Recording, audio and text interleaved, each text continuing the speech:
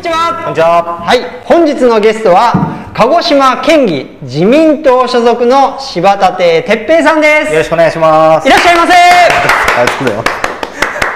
ありがとうございます。なんか同じ県議の方を見ていただいたとああ、そうですね。いうことで、はい。こんなに私元気じゃなかったんじゃないですか。あ、そうですね。確かに。ね。今日はですね、元もう並々ならぬ思いではいインタビューに臨んでおります。あそうはいなんですね。もう私も楽しみでですね、はい私はお父様の代からよく存じ上げてるつもりなんですが、はい簡単に自己紹介をいただけたらと思います。えー自己紹介させていただきます。はいこんにちは。えー柴田哲哲平と申します。1979年、昭和54年生まれのもうすぐ43歳になります。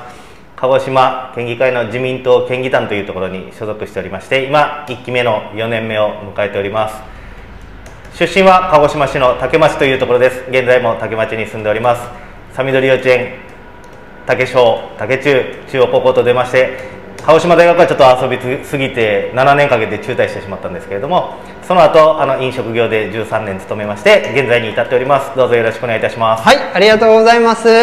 あ、竹町出身なんですね。竹出身です。えー事務所はあの中洲立教をトンネル方向に行って左の方にねあありますそうですそうでおす父様の事務所ありましたはい、あそこを引き継いで、あやられてるんですか？はい、そうです。あのーもう失礼な言い方するとボロい建物。めちゃくちゃボロいですよね。はい、あの年季は入ってます。年季入ってますよね、はい、あのですね、あの入居者の方が、あの、ああ、今このテレビ見てんだなっていうのも分かったりします。わかりますよね、実は。はい、はい。持ちいえ、あの、借りております。はい、家賃を払って、はい、借りております。なんかあの選挙が終わっ、選挙の時だけ借りるんですか？常えーに、常にあの事務所はあの事務員さんがいいてですね、あの事務作業してもらったりとかしてある事務所なので常に置いてあります。で選挙の時はですねちょっと手狭になりますので選挙事務所のような形であの別で設けさせていただきました。今1期目でいらっしゃるんですよね、はい、1期目です。でありえないことにその前回の選挙、はい。かなりぞ上位当選されてませんでしたっけ？そうですね。はいそうそうでした。はい、2番。2番でしたね。で1番が桑鶴勉先生、はい。ということで桑鶴さんちょっとご不幸があられて、はい。えー亡くなられたと。はい。ということは今もう県議の中でトップ当選の県議ということですよね。いやまあまあそれはもう4年前のことですからね。私にとってはまあそれはありがたいことなんですけど、うん。自分の中ではそういう時間はあんまりないというか。なるほど、はい。というのは実感がないということは私の実力ではないと。うーんそういった意味ではないですね。それは結果ですので、うん。あのただまあまあさその選挙の時はもうとってもびっくりしましたね。あのもう必死でやってたので何よりももう当選しないといけないと、うん。うんその順番っていうよりも当選するか当選しないかっていうのが非常に私は大事だと思ってたので驚きはありました。うん。予想どうですか？もう全くの素人というか全くの初めてだったんですか？それともこうお父様の秘書みたいなちょっとお世話係をしてから出たりとか？いや私はもうあの、まあ、その自分の周りに、まあ、父が選挙出る時はあの応援はしましたけど事務所にがっつり入ってっていうのはやってなかったのでですね、自分の仕事がありましたのでもうそっちを優先しますということで、うん。まあ、友人知人には声かけはしたんですけれどもそこその事務所に入って一生懸命するっていうのはなかったですね。なるほど。でしたのでまあ分からなくてその事務所その選挙戦がどういうものだっていうのが分からないからですね。ただもう一生懸命やろうということは、うん。あの選挙、まあ、その選対とかでですねあの、まあ、父がやってる以上のことは絶対しないとダメなのでということでうん。そこは一生懸命やりました。なるほどですね、はい。じゃあもうちょっと遡ってどの辺でこう自分は政治家になるのかなとなるの思ったんですか？ななるのかなっていうのは思ってないですね。なりたいというのは思ったんですけど、なるのかなっていうのはなんかちょっとその外的要因があるじゃないですか、うん。じゃなくて自分の内で秘めてるっていうのは、まあ、あの大学生の時代に、あの例えば接客業のアルバイトしたりとか自分が所属してるサークルとかであの人が、あの例えば自分が何かをして楽しまれたりあのそこであの支えになったりした時にああ父はこういう仕事をしてるんだなっていうのをまず思い出して、うん。でやはり、あのその自分が社会に出て働き出してお給料もらうようになってからですねさらにその思いが強くなったっていうのがあります、うん、なるほどですね。じゃあもうお父様は、はい、自分のお父様は政治家、はい。えー県議だというつもりで、えー幼少期を育あもうそそれはすごくありましたね。ずっと県議ですか？小学確かですね。私はい小1から小2になる時に、父は初めて選挙に出てそこ落ちてるんですよ。ああそうなんでね。あの2回目からずっとその7期28年してたんですけれどもやはりそういうのは、あの子供の頃まあその幼いながらも意識はしてたところはありますね。うん。ですので思春期の頃はもうそれが嫌だったりとかは嫌だった。あーっていうのはありましたねご兄弟もいますよね。4人兄弟です。4人兄弟。はい男です全部。いや次男です私は。次男、はい。えーこの政治の世界なんか長男が継ぐとかそういったビジネス的には長男が継ぐじゃうないですか。んなんかまあそういうのもあったりしますね、そういうのはなく。もううちはその結局私が出たいっていう時までうん。出ろって言われたことなかったので、うん。それはなんかその両親の教えでその親がやれと言ったことをであのその親がやれっていうことは絶対言わ言わないようにしようって言ってたみたいなんですよ。うん。なのでそういう話は一切兄弟でもなかったですし、うん。あの父からも母からもそういう話は全くありませんでした。うん、なるほどですね。そのお父お兄さんとか、はい。ご兄弟は何をされてるんですか？えー兄はですね今、えーまあ、電力会社に勤めてます、うん。で、えー弟が2人いるんですけど三男は、えーデイサービスの仕事をしております、うん。まあ、介護福祉の仕事ですね。で四男がですねあの木材関係の会社。これもあの祖父が作った会社なんですけどそこにうん。あのまあそこはあのどうしても戻ってきてくれっていう話はあのちょっとあったんですけど、うん。その政治家の話はそれはもう絶対しないって決めてたみたいなんですけど、うん。そのまあ祖父が築いた会社はどうにかして引き継げないかなっていう時に、うん。あの四男があの東京で不動産関係の仕事をしてたんですけど、うん。分かりましたということで戻ってきて今あの宮崎の方で働いてます。あそうなんですね、はすごいですね。柴立家ってなんかえっと政治家もされて、はい。経営もされて、はい私は前職建設業だったので、はい。もう建設業といえば柴田先生みたいななんかそんな感じだったんですよ。おおそうなんですね。うんおそうですね、はいはい。一緒になんかいろいろはい。ご相談事で、えー新たのロイヤルホストでちょっとご相談させてもらったりとか そういうのもねあったりしたんですけど、はい。前職の時にちょうど代替わりするよということで、はい。郡本会だったかな、ああ堀本がはい。うん郡本会にですね。次選挙に出ますからってことで、こう来られて、はい。でご挨拶されてっていうのを初めてはい。はい哲平さんとお会いして、はい。でその後次お会いしたのがあ私飲食に今働いているのでケータリング協会っはい。ていうところのもはいうなんか理事みたいなはい。お仕事もされてる。はい。そこはもうお父様の後釜として入ったわけではなく、はい。自分がこう飲食という経験があるから、はい。ケータリング協会でちょっと力振るいたいなというような感じなんですか？うん力力振るいたいという力振るいたいっていうのは全くないですね。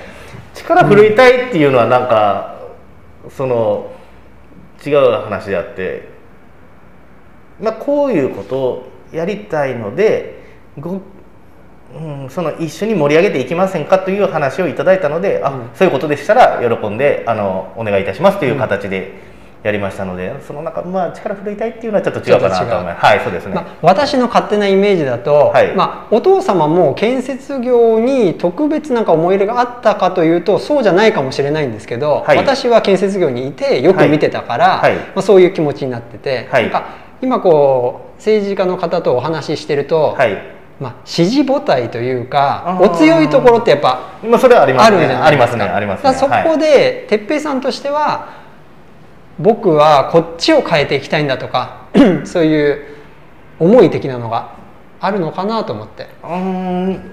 まあそのそのまあ今のがじゃあ上野さん飲食の話っていうことで。飲食なのかなと。あ前職は飲食っていうことだったから。まあそうです。そこはあの飲食はぜひ頑張っていただきたいっていうのは、そこはですねあの自分も飲食業を勤めてた時に、うん。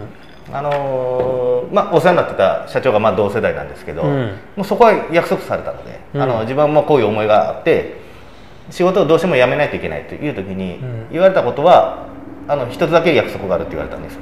天文館は私は天文館の、まあ、飲食店の店長を任されてたもんですから、うん。天文館はねと鹿児島の経済の鏡だぞと、うここが廃れるようなことだけは絶対するなと、んなるほど、うん、だからそれを絶対に忘れるなよっていうことだけをもう一つだけ約束だからなっていうことを言われたのでもうそこははい絶対に忘れないようにしますということで今もうその、まあ、飲食業が盛り上がっていくっていうことはあの忘れないようにしないといけないなと思ってます。なるほどですね、はい。ご自身のお経歴から考えてちょっと飲食っていうところは鹿児島の飲食っていうところは力入れていきたいところなのかそうですね、まあ、飲食業の振興は、はい、もうそういうふうに思いますね。していきたいのかなはい。というところですかね、はい。なんかお父様から、まあ、こうしろとかは言わないということでしたけど、はい。やっぱり政治家としては、はい。お父様からいろいろこう教えてもらい学んでっていうのではないですか？それを相談することは増えましたね。うん。もう今までのことは全く相談してなかったですしあの逆に言うことを聞かなかったので、うん。あの進路とかですね就あ職とか。そうなん全くはい。もう反抗期みたいな、もうそうですね。あの、おとなしい反抗期みたいな感じで静かな反抗期みたいなのをずっとやってたので例えば高校大学とかまあ俺はここ行ってほしいなって言って言われるんですけど、分かりましたって言って僕違う高校の願書とか普通に出してたんで、なるほど。あんまり父ちゃん好きじゃなかった、いやーっていうまあまあそのす好きそうですね。まあだから政治家の息子って言われるのは嫌いだったので、ああなるほどね、はい。政治家うん分かる気がしますね。政治家の息子ってボンボンだろうとかそんな感じもあって先生。そうですね。もうすごくなんかそういうのが嫌になってた時期が非常に長かったです私。なるほどですね、はい。じゃあどうして政治家の道をやっぱり歩まれたのかなってちょっとまだ分からないですけどね、うん。まあその嫌だなと思っててもその大学生の頃とかにそのなその人のお役に立つっていうのは面白いことだなと思って、で次はあの社会活動していく働いてったりして給料稼いでいくっていう時に、うん。やっぱり困ったこととか出ていくんだなと、うんうん。世の中の疑問がすごく増えてきたんですね。その、うん。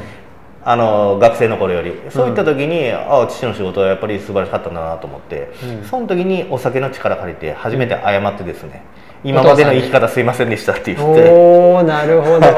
そこは相当お酒の力を借りましたね。なるほど、はい。ですいませんでしたって言ったらお父様は、その時はですねあの面と向かって言えなかったんですよ。うん、で25の頃だったよな。もう25のことですですで「お前今いくつになったか?」って言われて「25です」ってもうテレビ見ながら言ってるんですよ。うんうん25年かかったんだなって言われてうん。もうそれで終わりましたね。もうちょっと涙出てきましたけど。なるほど。ああすいませんでしたって言って。でも25から最初に出馬されたのがよ39 39ですね。はい。ですよね。はい。ということは政治志したいと思ってるのは父ちゃんと。まあ言い方違うんいですよやもうそれはもうぜ言ってないです。言ってない。一切言わなかったです。すいませんでしたで終わり。そこは終わりです。25歳は、はい。でまずまあ一生懸命働こうと思って、うんで38から9になるときに、まあ自分の中でうんそうですね。あのうんなんて言うやだろう。まああの私生活に変化があって、うん。まあ、結婚するとはい。なった時に向こうの親にだけ言ってたんですよ。どう思いますかと。政治家に志したいんですけどどう思いますかと、はい。うんでそこでまあそれならそういう気持ちがあるんだったらそれでもいいんじゃないっていうところはあったんです。ただまあまだ時間はかかるでしょうと。私は父が出ると思ってたので、うんうんうん。もう一回。で父が出ないということを、うん。あの言われたのでそこで初めて言いました。自分にはそういう気持ちがあるので。どうにか手助けをしてくれないかと。いうことを初めて言ってそこからちょっとまあ話が始まりだしたという感じですね。うんなるほど。じゃあまあ8期目を出馬をしないと。お父様がはいそうですね。なって、はい。でもその最後の時になんかちょっとニュースにな議長を務められたみたいな。そうですね、はい、ね。最後の父は最後の2年間が議長でしたので、ですよね。議長になったで次は出ませんと。はい、でそして哲平さんがじゃあその地盤を引き継いで出ますと。やりたいと、はい、うんそうですね。そこならやっぱタイミングかなと正直なところそういった気持ちもあったいや、あのですね、れは私はその政治的な勉強を全然してなかったので、うんあのまあ父と相談してですねもう4年間実は勉強しようかなと思ってたんですよ。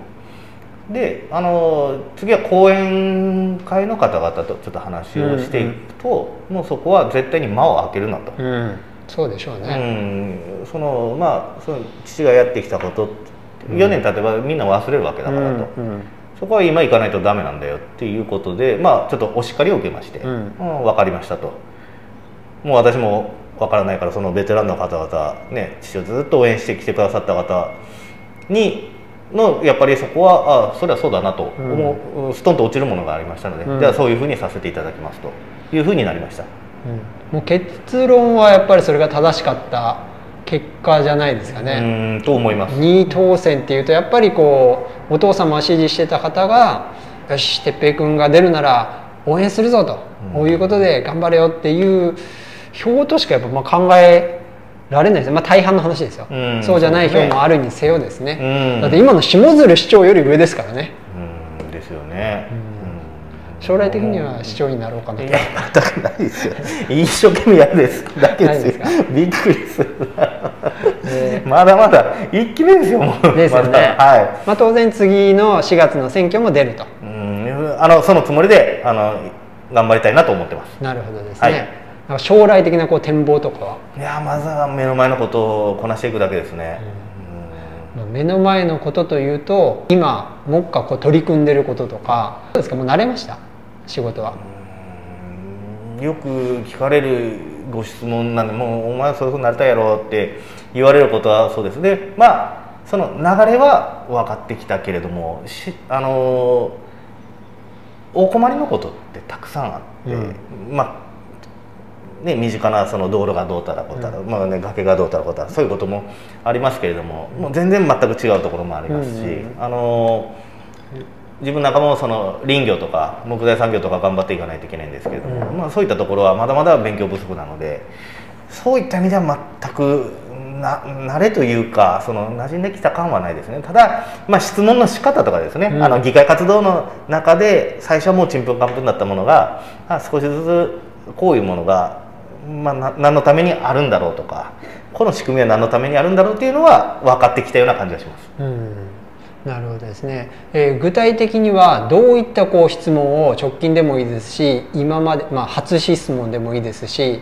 どういったことをこう問題意識を持ってどういった質問をされてどういった活動が今うんなるほどですね。なんか具体的にこれっていうのがあれば。まあ、今までお話ししてきた例えばうん。飲食業の振興だったり、うん。うん。まあ、特にあの2年目3年目っていうのはもうコロナがうん。大変だったのでですね、それをあのコロナ禍と言われる言葉があったようにそこでうん。商店街だったり、うん。い飲食業の皆さん非常に大変な思いされたと。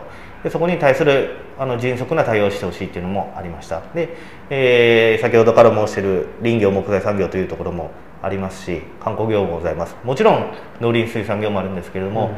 えー今年はですねあのこの間の9月議会におきましては私はその鹿児島が今、ね、鹿児島だけじゃなくて日本が抱えている少子高齢化っていう問題を、これも一生懸命やらないといけないなと思いまして、うん一般質問の機会であの少子高齢化対策そしてあの子どもたちを育てていく親御さんの問題とかですね。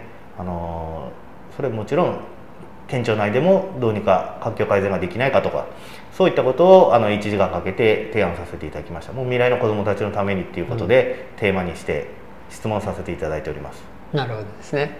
9月議会という話があったので、はい。早速お聞きしたいことがはい。何のことかお分かりでしょうわかります。わかりますね。わかります。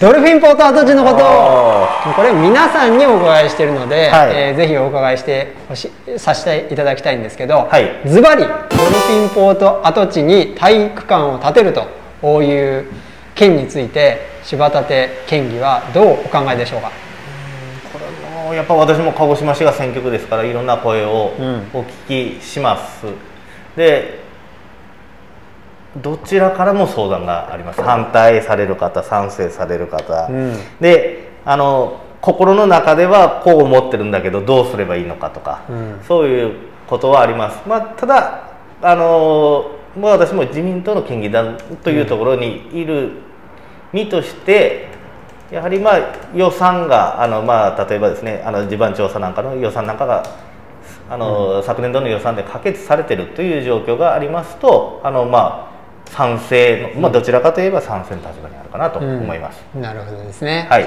自民党県議団としてはやっぱりまあそうしないといけないと思うんですけど個人としてもやっぱりそう思います？体育館をあの土地に建てるともうちょっと意見かえあの質問変えると、はい。両方の意見が来るっていう話でしたよね。来ます。なんか傾向ってないですか？その体育館を建てろっていう人たちって、まあ、誘導尋問したくないですけどそういう年を取った方だとか若い人私の私はですね何とでも言えるから私は正直周りに体育館をあそこに建てるんだっていう意見はまあ聞いたことないんです。私の方には。なるほどですねっていうのはそういうソーシャルメディアを使って若いっていう人たちからはあんまり聞かないんですよね。まあ確かに。確かに傾向ありますよね。うん。それは傾向としてはあると思います。ほぼ同年代なので、はい。やっぱり柴立さんの県議あの個人として、はい。哲平さんとして、はい。正直あそこにてあの建てるの？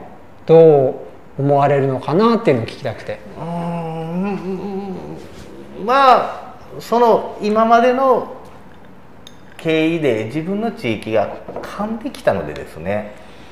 自分たちの地新域が噛んできた。竹町に工業試験場跡地っていうところがあって。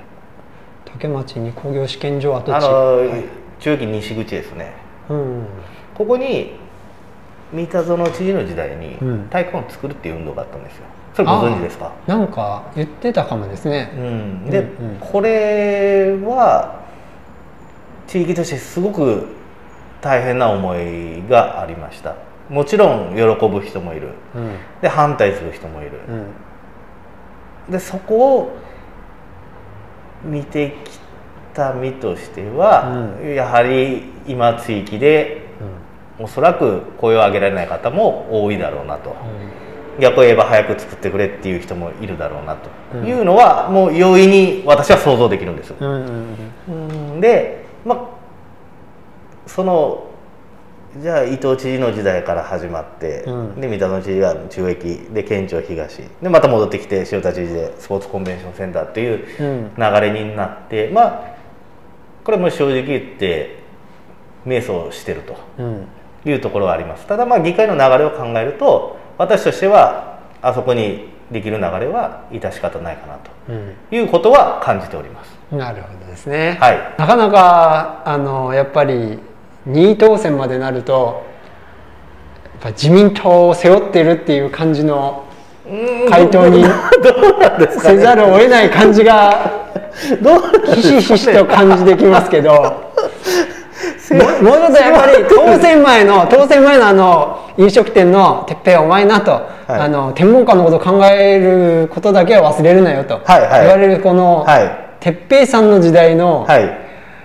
気持ちとしてはあっちにできてじゃあ天文館に体育館ができて小中学生が使ってはい。じゃあその後に経済効果50億でしたっけ、うん。飲みに出て、はい。はい。あり波及効果があるよと、どうやはらあんまりこうそんなあの試算は通らなそうだなとも思うんですけどね。私その考えはあのあのなんていうんですか正しい間違ってるとかじゃないですけど、うん。それはもう指摘のところは分かると思います。あその指摘のところが分かるというと確かに言われるところはそその試算はおかしいそうなのかと、うん。うん。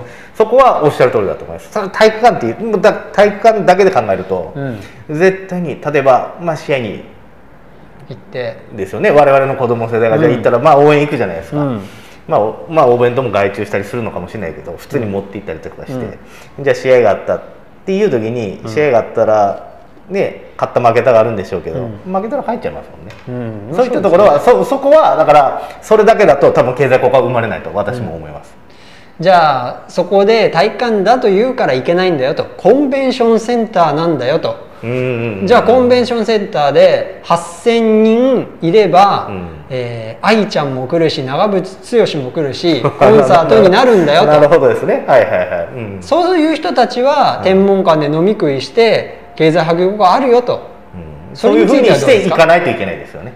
もうやるのであれば。やるのであれば。はい。てかそこはどうですか？じゃあそれなら確かにそれできますよと思うのか。8,000人今集まってはい。イベントする、はい。それで9割ぐらいのあの稼働率でそうそうですね。まあ9いうバンバンバンバンはい。アーティストが来て活動してっていうのもなんか甘い気はするんですけど。うん。まあ確かにそこはいい見通しではあると思いますよ。だから私はそういうふうにもだからやるのであれば、うん。そういうふうにじゃあ持っていけよとうん。いうことを言い続けないといけないと思います、なるほどですうね。ん。さあだからそれある意味そういう説明を議会でするわけじゃないですか、うん。それは全体で、まあいまあ、議会があって委員会があって、うん。我々は委員会に付託してるわけですから、まあ、うん委員会の聞いた説明でそこで意見が出て。でもちろんあの、ね、賛成もあれば反対もあるっていうところもあります。ただ説明をしてで我々はそれである程度の納得をすると、ね、これは100%じゃないのかもしれないんですけどそうなった時にはやっぱそうするためにはじゃあどうしていけばいいの？っうん。ていうところはもうずっと言い続けないといけないですよね。なるほどですね。はい。まあ今うちが県議でインタビューして体育館反対派は、はい。はいあー米丸さん、はい。岩重さん、はい。あと、まあ、まだインタビューが少ないです、まあ、上山さんだとかそういう野党的な方とか、うん。えー平さんだとか、はい。うん、っていうところですね。はい。でやはり、えー藤崎さん、えー蓬莱さん伊藤さん、えーまあ、柴立さんとはい。いうことで、やっぱり自民党はい。っていうところでこう賛成だとはい。こういうところなんですけどその党で分かれる、まあ、米丸さんだけはちょっと違いますけど、あの党で分かれてると。こういうところはもう致し方ないかなと思うんですよ。うん。でも年齢で考えたらはい。やっぱり若い人は先ほど言ったみたいに若い人はどちらかというと体育館じゃないんじゃないのという意見が多いのかなと私は思ってるんですね。うん。うん。うん。で、えー今米丸さんたちとすごく面白い取り組みされてません？この前もツール・ド・オースミとか行かれたり なんかいろいろ旅行されてたり、はい。自民党若手の人たちとはい。結構仲良くされてる。はい。あれすごくいいなと思うんですよ。はい。その自民党内ではい。そういう話にならないんですか？いややっぱりちょっと上の長老の人たちと話ちょっと合わなくない？みたいなそれ長老見ないから大丈夫ですって。それはそれはそ言えない。れはいやいやさいそれはねそれは盛り上がってきましたね。盛り上がりましたよ。い いややもう私もう今日これにかけてね生きてきてるから朝から、はいまあ、そういう番組なんですけど、はい。正直ね、えー野党の方々にもインタビューするんですけど、はい。もう無理じゃないですか。だって51議席の中ではい。自民党何議席あるんですか、39かな。39あってあ公明党が3あって、えー42あって、はい。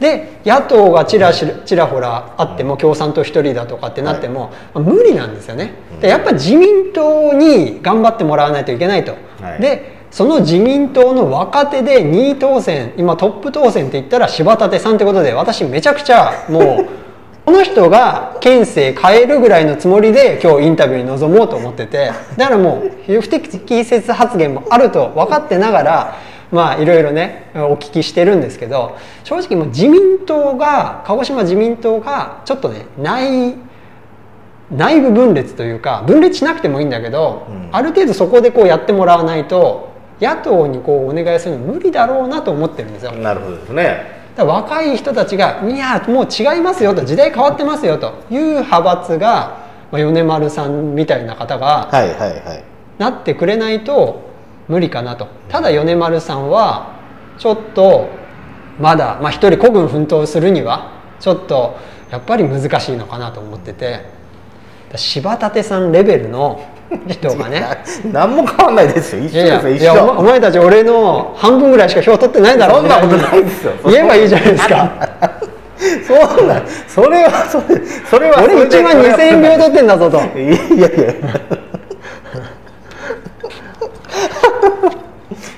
いやでも本当に鹿児島県のことを考えてそのうーんまあドルフィンポートの話で言うとドルフィンポートでいや本当にそれってちょっといいのって思っちゃうんですよ。うん。私は。うん。で私だけじゃなくてえー、と陳情書も来るぐらい、若い人たち件出ましたからねで、もうそれ止めたいと思ってる人たちがいて、でそれを言うにはやっぱ自民党が動いてくれないとと思ってて、って言ったらやっぱり若い人に頑張ってもらわないといけないなと思うんですよね。うん。そこのなんか背負ってるものって感じたりします？まあ責任は重いですね。責任重いと思いますよね。うん。です。でまああのようにですね9月議会に反対陳情6件出てますからね、6件で。不採択でいいんですか？うんあれもうだから不採択ねえそのまああれも継続でもよかったんじゃないかということで自民党の中でもその意見出ましたしそこはもう大いにあの献金額がありましたけれども、まあ、結局そこまあねあの上野さんが言われるように、うん。そそれそうそう言ったら、まあ、やっぱり自民党おかしいじゃねえかってなるかもしれないですけど、そのですね。まあ仕組みとして委員会に付託してると。うん。でま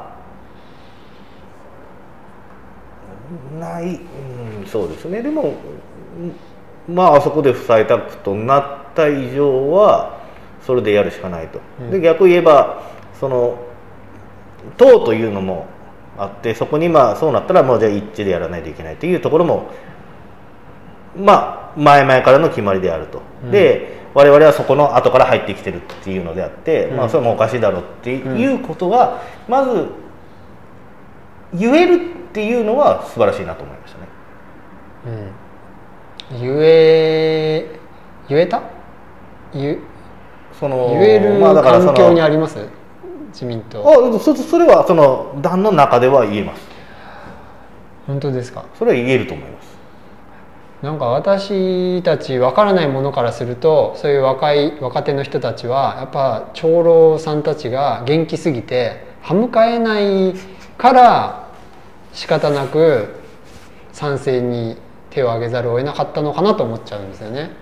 うーんとまあそそのその年代が気がっていうところのまあそのイメージも確かにあられると思います、ただまあそのやっぱり40人弱うん。いるわけじゃないですか。そうなってくるとですねでまあ地域もいろんな地域から出てると。うん。いうところでもうこれは本当に県の大きなうん。関心事なんですけれども、なんて言えばいいでしょうね。そこをやっぱりもうこの作る作らないという方も早くやってほしい、やらないでほしいという方もいらっしゃると、ただまあ、まあそのその外側にはもうねもうこれはそろそろもう木をね熟したというような意見の方も多いんだろうなっていうのは私は感じてるところですね。伊藤幸喜さんも言ってました。あのなんで今陳情なの？と。もっと前に言ってくれれば止まったはず可能性もあるのにもう今止まんないよって言ってました。うん、それはまあやっぱその中議会の中行政の流れかなっていうのは思うところですよね。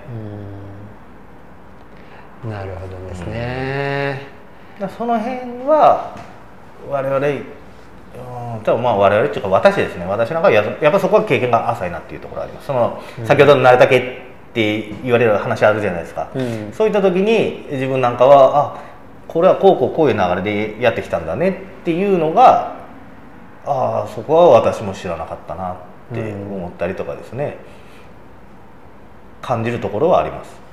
うん。まあそうやってまだまだペイペイだから上の先輩方から学ばないといけないと。うん、まあでもまあ主張することはしますしね、うん。あの今回だけじゃないですけど例えば国体の話なんかも、うん。あのすぐに動かないとっていうのはやっぱりありましたからあの鹿児島が中止になりそうな感じだった時とかは、うん。次の実は、ね去年一昨年、うん。あの中止になってるんですけど、まあ、三重市があの、まあ、佐賀あ三重佐賀市が栃木とかだったかな、うん。まあ、そこら辺が自分たちに影響がないようにしてくださいってもう嘆願書出したんですよ。うん要は鹿児島は後回しにしてくれと。うん。もう知らんというのが出た時にはやっぱりもうそれは絶対にもうこっちも議会として動かないといけないんじゃないですかと。向こうはもう囲ってますよと、うん、でせっかく今までね我々が入る前から先輩方が準備してきた10年以上準備してきたものがパーになるっていうのが一番まずくないですかっていうところなんかはやはり私も結構大きな声を上げさせていただいてですね、ん。そしたらもう先輩方がやっぱそれはお前の言う通りだぞと。だからもう東京に陳情に行ってスポーツ庁にも行きましょうとか体育協会にも行きましょうとかそういったこともありますので、うん。そういうそういうなんかそのい例えば私が意見だからお前の意見を聞かないよとか、うん。そういったことは全くないような私は感じております。うんなるほどですね。うん。じゃあまあ自民党鹿児島県議団としては、はい、まあ結構いいメンバーが揃って結構うまい具合にこうあの運営されて、まあ、それが県の運営になるわけですからなってる感じですか？うーんそそれでももうちょっと私が言ったみたいにいや若いやっぱりあのメンバーが増えた方が健全なんじゃないのという意見があるのかいやもうやっぱり人口も高齢化してるしうん。高齢者のうん。シルバー民主主義とかじゃなくて高齢者の意見をうん。やっぱり聞かないといけないっていうところあるわけだからうん。やっぱり高齢者のお先生がいるっていうのはやっぱりすごく必要でバランスはいい感じじゃないのと思いながら。ああそれは若い人増えた方がいいですね。うん、若い人が増えた方がうん絶対増え絶対増えた方がいいいです。もうそれは。だっておかしいじゃないですか、うん。私まあ補選が今年になってうん。2回、まああ2回あったのかな。げそうだな。2回あったからそこであの私より若い県議団の中でも2個下のうん。あの議員が伊佐市から池田議員っていうのが入られてきて、でその前は私が一番若い。とうん。で今年43ですよ。うん。43で一番若手って、うん。実社会じゃありえないじゃないですか、うん。もちろんね選挙権はと非選挙権の年齢の違いとかもありますけれども、うん。もちろん木を重ねた方もいらっしゃらないといけないっていうのは思います、あの上野さんが言われたようにあのだいぶ年齢が、まああのシニアの方いわゆる年をうんお召しになられた方々が多くなってるっていうのは比率で言えば事実ですので、うん。そこの代弁する方もいないといけないと、うん。だったら逆に言えば20代の方がいて、うん。30代の方がいて、ね、今からこの日本を鹿児島を支えていくっていう人のだ代弁者がいることによって若い方々ももっと政治に興味を持たれるっていうのは事実だと思うので、うん。自分なんかもやっぱりそうでした。あの自分の時に投票の仕方が分からなかったとかですね、であのーその先ほどのせ前回の選挙の時のその投票数の話になりましたけど、うん。鹿児島市って例えばあの鹿児島市の開票作業は遅れるので選挙区があとは三島村と島村ってあるんですけどそこの票が出てるだけでもう動かないからそれだけでもう1位おめでとうって来たりすると。であですごくそれが多かったんですよ。多分初めて投票に行かれた方だろうなと。柴田哲平150票1ってなってで1時間動かないからもう当選でしょって言っておめでとうやったねって、うんでもそれ逆を返せばそういう方が興味を持って投票所に行かれて投票されたっていうところを前向きに我々は取らないといけないですし、そこはそういう方々はやっぱ何も変わんないよねって思われたらいけないので常にやっぱり更新されて皆さんのお仕事と一緒だと思うんですけどどんどんどんどんアップデートしてアウトプットしていかないといけないっていうのは事実ですから、若い人がどうにかして自分も選挙に立ち出てみたい、ね、あの議会の場でうん。県政にこういう発言をしていきたい、まあ、そのためにちょっとまあ選挙っていう関門があるんですけどできれば若い人たちにも出ていただいてより良い鹿児島を作れたなと思います、うん。まあ、そういう点で言うとお国会議員は宮地さんはい。安岡さん、はい。で若くなりましたよね、はい。で、まあ、ちょっと落ちてしまいましたけど、まあ、宇都さんだとか、はい。すごくバリバリされてた方がいて、で、はい。全員の応援をはい。されてたかと思うんですけど、はい。正直誰が好きですか？宮地さん安岡さん宇都さん、それもうみんな素晴らしいとこありますよ、うん、あんまりそういう大人な回答いらないんです正直誰が好き？いやみ正直みんな好きですねでも。あうん。やっぱ私にないものをそれぞれが持たれてます。うん。うん。宇都さんだったり宮地さんだったり安岡さんですよね、うん。もうこれはもう本当素晴らしいなと思います。うん。いろいろアドバイスもくださいますし逆に相談をいただくこともあります。それぞれのやり方も違うなっていうのも選全挙然違いますよね。はいお手伝いして感じるところです。だからどれどれが好きっていうのは私もう結構占いに使えるなと思って。あ宮地さん好き。あそういうタイプねとあかーなるほどね。の安岡さんあそういうタイプね。ね宇都さんっていうの、はいはい。うん、結構このタイプでどれが好きかでその人の考え方分かる感じああなるほがあるどですね。かなと思ってて私どちらかというと宇都さんが好きなんですけど、なるほどですね。でも宇都さんは言ってました。もう2世議員だとか、そういう世襲議員っていうのはもうやめればいいんだと、うんそうですね。うん。でも宇都さんはそう言われてる。嫌じゃないですか。いやそのその意見はあって当たり前です。あなるほど、うんそそれ二は世議員として二世議員はもうやめた方がいいというのに対しては一理あるなと思っちゃいます、一理あると思います、おおそれはなかなか面白いですね。うん、そのそういう自己否定にな意見がってきますよ。です。そういう意見があるのも当たり前だと思います、うんうん。それはそうです。あの先ほどから若い人が選挙出てほしい、うんうん。でぜひあの一緒に支えていただきたいって。でじゃあお前はどうだったの？っていう時に、このやってみて分かるんですけどやっぱだいぶ違うんですよ。ゼロから築き上げていくっていうのと、うん。で私みたいにその思いはあったのかもしれないけどじゃあお前パッと出てきて、うん。それは組織として残ってるじゃねえかと、うん。だからそこを否定されるっていうのは非常にあの私は致し方ないかなと思いますね、じゃあご自身で、はい。えー二世議員で、えー得したところっていうのはやっぱり、まあ、地盤看板を背負えた引き継げたというところは、まあ率直にいやあるよかったなと。う。ん。メリットだったな。からこれはもしそのゼロからされるっていう人は本当に大変だろうなと。うん。ただあのそうやって気づいてこられた方例えばえ自民党ではないですけど鹿児島市の下鶴市長だったりとかっていうのはもうものすごくあの同じその議員でしたけどそのなんていうんですか地域の方々へのその活動の仕方とかっていうのは私も聞いてましたし、うん。あのその活動の仕方は自分なんかも参考にしていかないといけないなっていうところは非常に感じるところがありましたね。うん。もし最後に、はい。来年の4月のことでもいいですし今やってる活動でなんか宣伝したいこととかこの前和牛日本一はい。の話とか、はい。はい。私 Facebook で皆さん県議の方々が集まられて、はい。えーすごいよすごいよっていうのを見てあそんなのあったんだって思ったんですけど、ん。なんか直近でこうこういうのありますよと県として盛り上げていきたいと思ってるんですよっていうものなのか、まあ、来年の4月の選挙についてなのか何か一言いただけたら。うん。じゃあまあ政治っていうものをちょっとお話しさせてください、はい。政治ってあのー今私この4年間ずっと学生さんの春休み夏休み春休み夏休みってあるんですけど、インターンの子たちと一緒に勉強をさせていただきました、まあ、その数が大体、まあ、50名弱ですかね。7回やってきまして50名弱になるんですけれどもあのー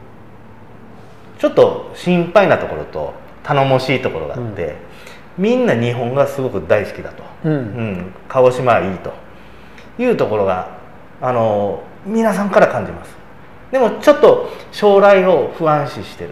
なんかもうど年金がもらえないんじゃないかとか。税金どんどん上がり続けるんですよねとか。あとは結婚なんかもうしなくていいんですよとか、うん。そういったネガティブな意見を聞くのも事実なんです。それってやはり我々政治家がですねそれは国会議員だけじゃなくて地方議員が一生懸命皆さんと接してこれからの未来を一緒に作っていこうという周知とか、あのが足りないというようなところは感じています。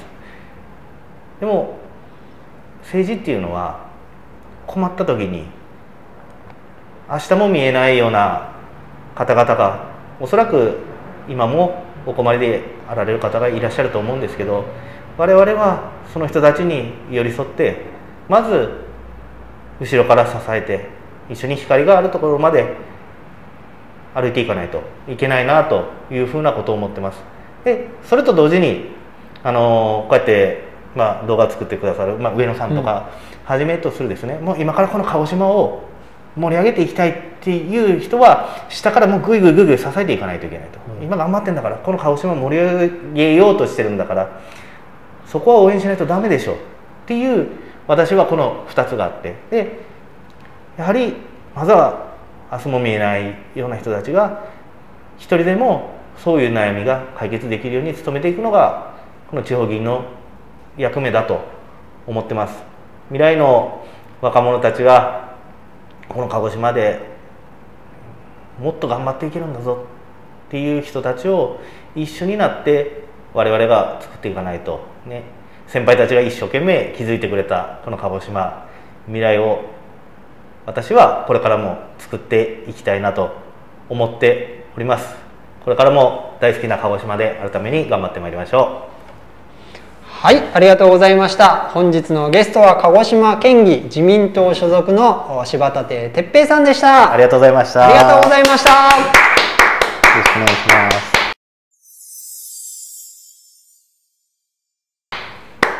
ありがとうございます。ありがとうございます、えー、でも次は絶対にトップ当選ですよね。いやわかんないですよ。わかんないですか？怒られることが多いですもん。怒られることが多い、あれですか桑鶴さんは息子さんが出馬するだとかそういう話あるんですか？僕は全く聞かないですね。息子さんがいらっしゃる。いらっしゃいます。お父さんのお手伝いをしてたような人ですか、いやいや。特に。市役所の方と自衛隊の方だって聞いてあそうなんですか、うん出なかったらトップ当選ですよね。いやいやそんなことないです。本当そんな簡単じゃないですよ。それこそ藤崎さんなんか次で落ちてらっしゃるんですよ。藤崎さん？あ上に当選した後？そうそうあなんか言ってましたね。うん確か2番か3番当選で。そうなんですか、うん、前回の結果はあんまり参考にならない。うん。って言いますよね。やっぱ桑鶴先生の中でもずっと上田のはすごいなと思いますけど。なんでですか？なんかやっぱすごい。まあ組織選挙をされてますし、ね、まあ、みんな言うのはやっぱり吉野は強いよね吉野は強いですよね、うん、吉野は吉野のやっぱ刈谷さんは市議ですね、うん、すいませんこんなんで大丈夫でした？いや大丈夫だと思います。もうちょっとなんかいろいろ話して言えないことを言わそうかと思いましたけど失敗しました。いやいやいやいや